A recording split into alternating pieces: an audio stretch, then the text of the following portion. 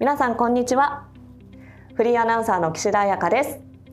エミンの月間為替相場見通し2024年1月号です。今回も天才エコノミストのエミンさんにアメリカドル円の見通しを解説いただきます。エミンさんよろしくお願いします。よろしくお願いします。明けましておめでとうございます。明けましておめでとうございます。今年も、ね、はい、そうですね。新年新年と言いますか新しい年、はい、一発目のはい番組となりますが早速、うん、直近のドル円の振り返り見ていきましょうか。はい、はいそうですね。結構年初から激しく動いてますね。そうですよね、えー、そうなんですよ。だからまああのご存知1日に震災があってで、まあ、日本が三が日が休みで4日までね実質上相場が開いてないですけれどもただ FX 自体は動いているのでこれ2日から動いてたんで。はい、でその意味で、えーまあ、この震災過去の震災の時には大体円高が進むっていうね現象があったんですよ。まあ、これはそうなんですよ。はい、あのこれはまあ日本の損保会社が、え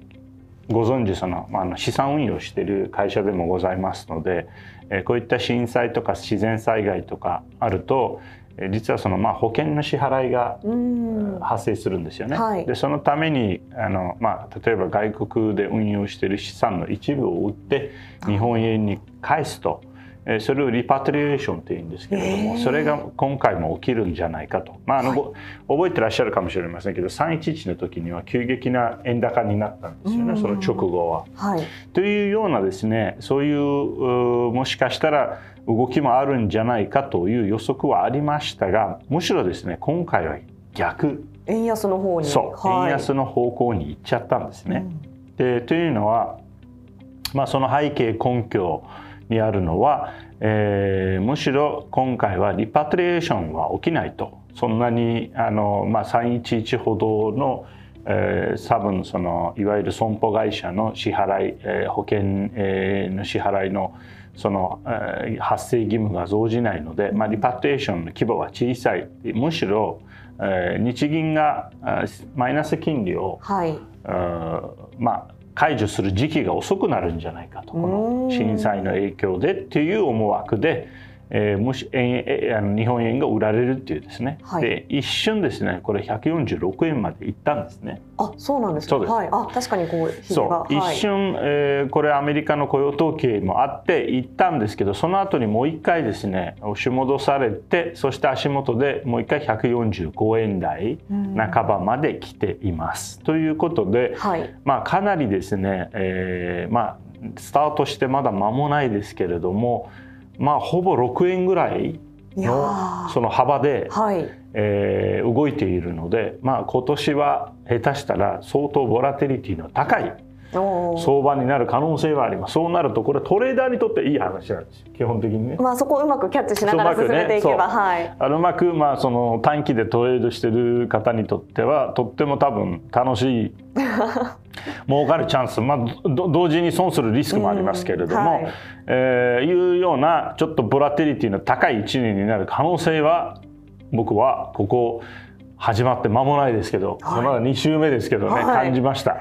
そんなこう新年の傾向といいますか、はい、流れがあったということですけれども、はい、ではこれからどうなっていくかっていうところを見ていきたいと思います。うん、まずはまあ注目のところだと思いますが、アメリカのコア CPI の推移ですね。こちら本日収録が1月11日ということで、この後私たちにとっては10時30分に12月分の発表があるということですが、ね、まあなんかこれはちょっと今現時点では当然まだデータ出てないので予想はできないですけれども、まあポイントは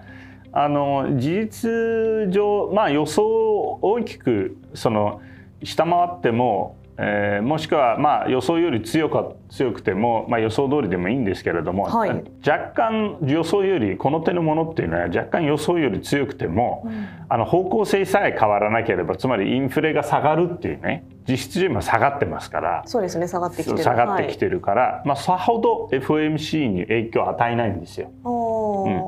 ん、であのなので、まあ、その意味でもちろんサプライズに悪ければ3月のね、えー、利下げ観測というのが強まりますし強ければ3月の利下げ観測は遅くはなるんですけどただし、はい、あの FRB っていうのはよりあのまあ、詳しい分析をしているのでこのピンポイントのデータで決めてるわけではないので、まあ、だから今回のポイントはインフレが今後も下がるかどうかっていうその傾向が続いているかどうかっていうポイントでコア CPI の場合はエネルギーと食料価格が入っていないので、はい、割と分かりやすい。例えばですねサービス業はどうなのかとかですね家賃はどうなってるんだとかですねそういった項目別に出てきますんでだから今回はちょっとヘッドラインの数字より中身を見てほしいですね。私が多分ツイッターでコメントしますんで、はい、まあ、そこをあの 見に来てください、はい、はい、じゃあ細かいところを見た方がいいそうそういうことですね。だからポイントは流れが続いてるかどうか。だからこれからも下げ続けるかどうか、はい、そのピンポイントのデータよりもその流れを見るっていうのは大事です。この手のものにおいては、はい、じゃあ今ご覧の皆さんがどういうふうになってるかをご存知だと思いますので、まあ、ただね、はい、ただねあの ものあのちょっとその感覚的には一気に円安が進んだ面があるんで、はいあのまあ、これがもちろんその予想を下回るような、あのサプライズの,、ね、あのその弱い CPI だったら、まあ、まあ円高要因ですよね。激しく動きますんで、えー、なのでまあ為替の手もそれも結局はですねその雇用統計のその動きで分かったように皆さんそのあの一瞬拭いても元元に戻るそうですよね、うん、だから、はい、まあちょっとこの辺りも含めて流れ例えばここ23か月の流れで今後どうなるか。でもしくは今回の話もトレンドが続いているかどうかトレンドどっかで転換したかどうかそのマクロ指標を見るときにはそこがポイントですよね。はい。じゃあエミンさんの X、注目していただいてということで、はい、ではその先ほど出た雇用の面見ていきたいと思いますがアメリカの失業率の推移ですね。はい、うん、でこれはねだからこれがこれ自体があの先週の金曜日にですね発表されて、はい、まあ、今年初めての,、あの雇用統計12月のデータなんですけれども、まあ、予想より強い結果が出たんですよね。あの新規のなんですか、就業者数、はい、あ非農業者部門の雇用者数は予想より強かったし、さらに、はい、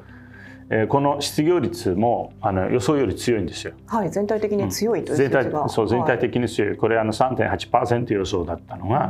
まあ3.7%というふうに出ているので、ということはこれ何を意味してるかというとアメリカの雇用市場がまだまだ強い、というふうに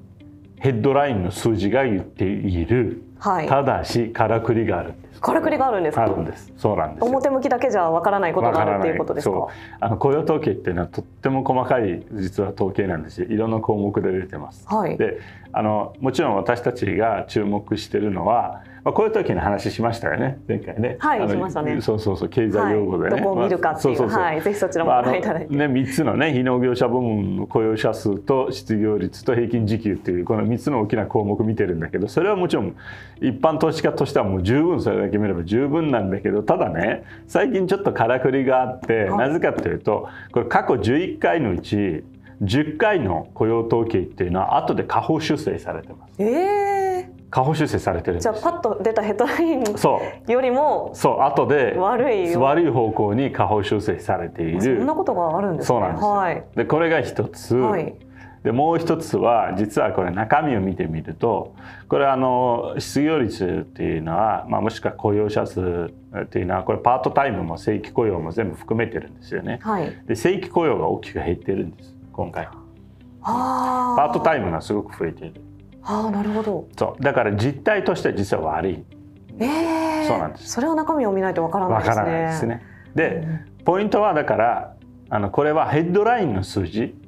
でヘッドラインでドスンとなんかあもう雇用統計が予想より強かった。ビャーって動くんですよね為替がね、はい、そうですよねパッと見て。為替が吹くんです。吹いたんです実際。吹いて100そう146円にタッチする手前まで行って、はい。うん、そこからですね1円以上押し戻された。1.3円ぐらいですね。130ピプスですよ。かなり大きいです。押し戻されたんですね。皆さん中身を見てああれってそういうこと。そういうこと。だからまああのヘッドラインしか見てない人たちっていうのは一気にもしくはアルゴですね。一気に動いたけれども、はい、中身を見た人たちっていうのを売ってきたんですね。これちょっとでも難しいですよね、うん、これからヘッドラインをどのように見るか。難しい。んで、まあ、難しくなかったら私たちはここで説明する仕事がなくなるんで、はい、あのちょっと難しいところはあるんです。皆さんはこれは苦労苦悩皆さんの苦悩を私も感じ感じます、うん。私もあの出た瞬間に中身を見ないといけないので全部、うん。僕細かいところまで見てるんですけどあの、まあ、だからちょっとそういう意味ではそういうからくりがあったんで、まあ、過去のねデータが全部10回にして10回下方修正されてるっていうことを考えるとこれも多分下方修正される今回のデータもね。だからそういう傾向にあるっていうことなんですか？そういうことです。でもそうなると、じゃあこれ何を意味しているかっていうと、はいまあ政権としてはヘッドラインの数字を使っているので、まあ景気がいいですと。バイデノミクスが動いてますと。それはいいんだけれども、FRB っていうのはこれ中身が見てるんで、はい FRB にデタラメが通用しないので、あの FRB のうんその意味での利下げもしくは金融政策への影響っていうのはないんですね。この数あ字だと。なるほどそう、そういうことです。このパッと見が強いからといって何か影響あるというかではないとそんなんでもないだから中身を見てみないと、中身もしっかり強いと。はいまあそれはあじゃあもうちょっとなんかまだ加熱してるんでもうちょっとあのその利下げを先送りしましょうってなるけど、こんな数字だとちょっとそうはならないですね。なるほどです。そういうことです。してですね今回は ISM の非製造業景況感指数、はい。こちらを見ていきましょうというところなんですがこれがその弱かったっていうのですごい弱い。うん。ねなんか先ほどのお話を証明しているような。そういうそういうことですね。はであのまあ、これあの PMI っていうんですけどね。PMI っていうのははい。購買者担当景況感指数って言います。で PMI っていうのは基本的に、まあ、製造業の PMI の方が重要なんですよ。はいそれはなぜかというと製造業の PMI っていうのは景気の先行指数なんですうね。んで PMI を見る場合はこれ50をあの上回上回ってるのか下回ってるのかっていうね。ああそうなんですねこれ全部僕はいがここで話すとみんな私の本買わなくなるんだけど まああのいいんです皆さん覚えてほしいんです。あのまあ、本も買って読むのでいいんだけど、ね。はい。経済指標 経済指標の本書いてるんで、まあ、あのつまりですねこ今回の PMI っていうのは何がポイントかって言って、まあ、一応まだ50超えている。だからまだはい。景気はいい、だけれども予想を大きく下回った。で今までアメリカっていうのは製造業の PMI っていうのはずっと悪化してたんですね。はい。ずっと悪いままで、まあ、製造業っていうのは景気先行指数で、えーまあ悪いえー状況が続いてもい景気の一致指数である雇用と景気の遅行指数である、まあ、個人消費ですね、はい。えー小売りとかですね、えー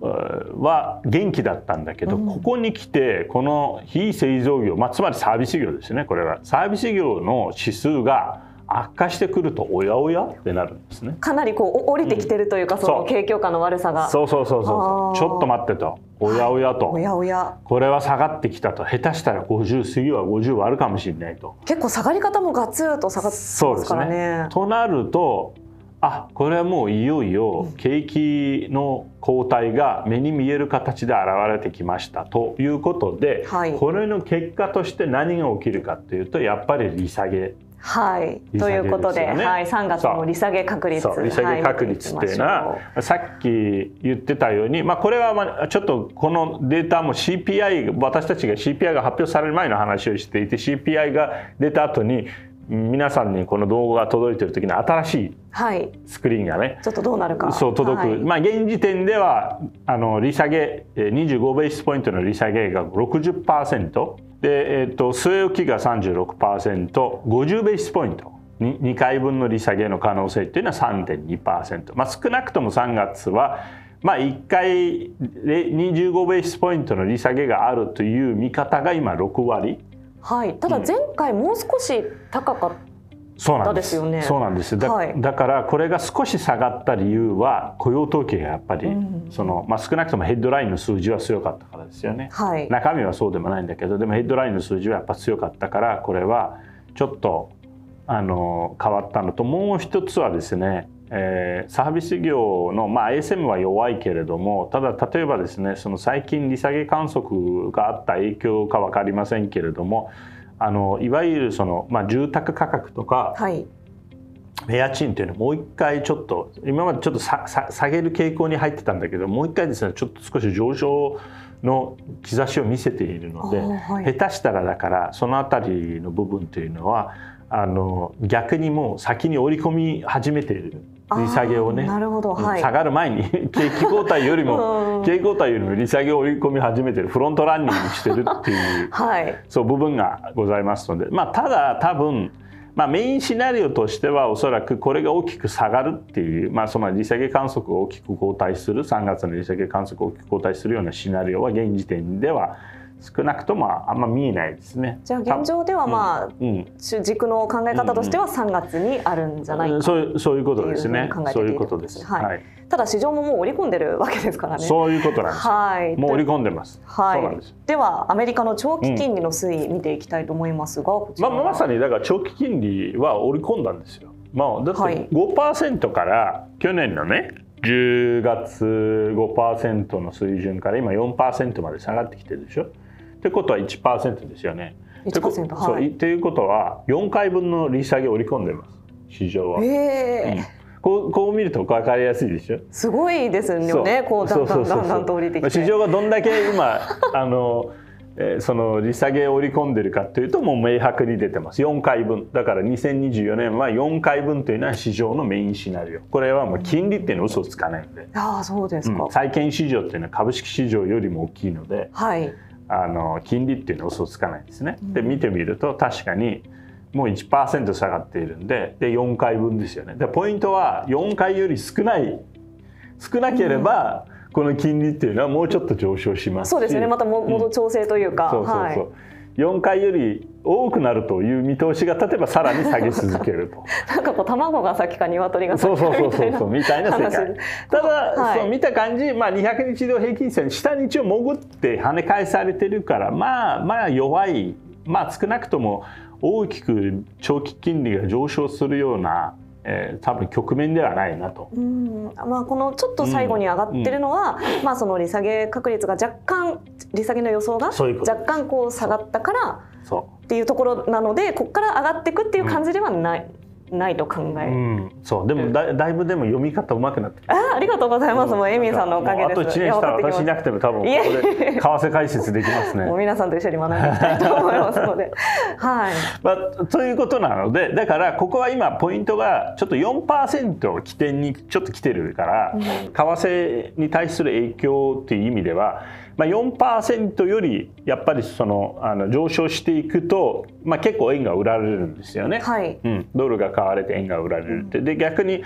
4%下に潜って、まあ、3例えば3.8%台とかにやっぱり突っ込んでくると、あのまあ、円が買われて、えーる、まあ、そういうような今展開が続いてます。ちょっとこう駆け引きですね。アメリカの長期金利の4%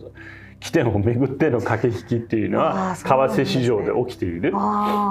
まあ、確かにこの4%のところでちょうどこうちょっとまた下に戻ってるみたいなところがありますか。はありますので、まあ、はいここはだから本当にあのこのまんまアメリカの長期金利が下げ続けるのかで逆にここで一回止まるのか、うん。まあ、一回もし止まるとなると、まあ、そうなると逆に為替って動かなくなるんです。ああなるほど、うん、というのはなぜかというと日本はそこまで金融政策を変える多分余地がないっていうか、はい。そんなに期待感もないので、そうなるとアメリカと日本の長期金利の差っていうのはそんなに動かないから。はいそしたらあの為替がレンジに入っちゃうんですよね、うんまあ、あのしかも多分狭いレンジになります。うんえーというような今局面に来ているというふうに、うん、思っていただければと思います。ちょうど見極めの時うん期というところですが、そうはいでは最後にこれまでのお話を踏まえまして、うん今後のドル円の見通し見ていきたいと思います。そうだからふさっきも言ったように何を見なきゃいけない2つ見なきゃいけないですよね。でまずは1つ目があの、まあ、これ一番大事なんだけど、はい。アメリカの景気マクロ指標っていうのは今後も悪化し続けるのか、うん。でそれに伴ってアメリカの金利っていうのは下げる下げ続けるのか、まあ、もしくは上昇がもう一回止まってもう4%を超えないぐらいの水準に落ち着くのかっていうのがまずポイントですよね。はい、でそう考えた場合には、えーまあ今の水準、まあ、146円にいってるけれども、まあ、146円まあ下手したらちょっとオーバーシュートして147円から、まあ、140円ぐらいの幅レンジっていうのは多分目先の、まあ、上限と下限になりそうですね。うんで逆に140円をあの下回るような円高っていうのは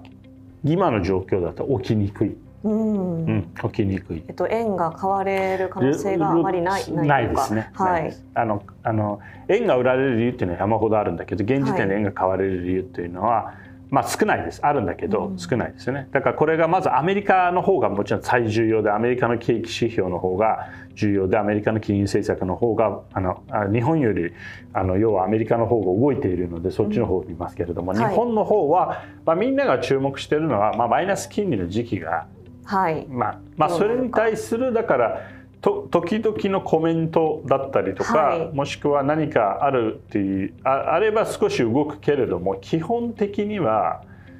えー、まああんまりファンダメンタルっていう意味では無視していいと思う。日本の日本の動きは。なぜかっていうとまあ例えばねマイナス金利を解除しましたと。で解除してマイナス 0.1%0% に戻しました。たったの10ベースポイントなんて大した話じゃない。影響はそこまで大きくな、い、だから日本の今のインフレ率を考えると妥当な水準というのは2%です。政策金利の妥当な水準、はい、でじゃあ日本日銀というのは2%まで上げるかというと上げないです上げなそうですね。まず上げない、ね、はい、うん、これが一つ目。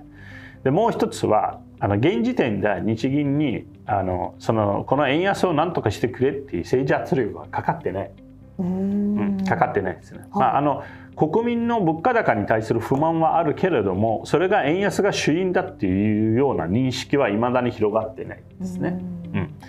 でもう一つの観点というのはあのご存知日経平均は絶好調です。はい、株高ですね。3万5千円超えました本日。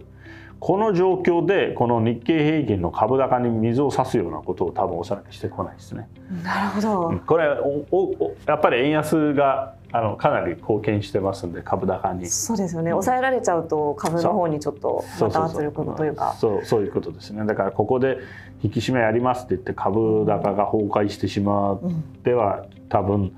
えー、彼らはそれを望んでいないというふうに僕は見ているのでそう考えるとでも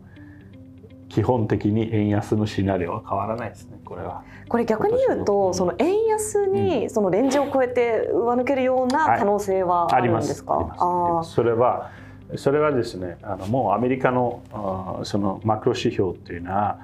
えー、良くなってくると、まあ、これ多分2月3月以降に思ったほど悪化しなかった。でそうなると本当にソフトランディング、はい、もしくはもうノーランディングというシナリオになってきますのでそうなるとあの FRB っていうのは多分金利をあの高いまま長期で維持するという政策に切り替えます。それだとますますあの円が買われる理由がなくなるので、うん、そうなるともう160円までの上昇、まあ、オーバーシュートして170円もあり得る、うん、ありえます。じゃあ傾向としてはやっぱり今はドルがちょっと強いかな。あのねドルが強くないんですよ。円が弱すぎる。あ円が弱すぎる。あなるほど。あのドルが強くない。あドル指数見てみるとそんな強くない、はい、あそうなんですね、だからこれは円が弱いので、はい、そうなると別にドルだけじゃなくて、まあ、他のクロス円通貨でも基本的に円が弱いので、円が弱くなる、うん、なるほどです。ね。はいわかりました。円安ドル高の傾向にもあるっていうことです、ね、そういうことです。はいわかりました。ありがとうございます。ぜひですね皆さん高評価チャンネル登録もお待ちしておりますここまでご視聴いただきましてありがとうございました。